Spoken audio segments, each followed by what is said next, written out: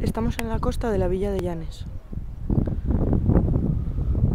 Venimos a grabar desde el, desde el mirador que hay en el Paseo de San Pedro, que es un paseo que recorre toda la, la, zona de acantilados de, de, lo que es la villa de Llanes. Aquí vemos el litoral.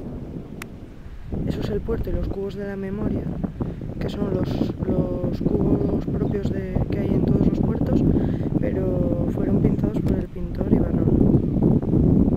Se puede dar un paseo por el puerto y, verlos. Y aquí vemos toda la villa, con la playa del Sablón, que es la, la playa más conocida de la villa, que está en el centro, y toda la zona de la muralla por donde podemos acceder al casco antiguo y en él podemos tanto comer en una sidrería típica como, como visitar la basílica y demás. Aquí al lado del paseo y de la playa hay un parking aproximadamente ahí.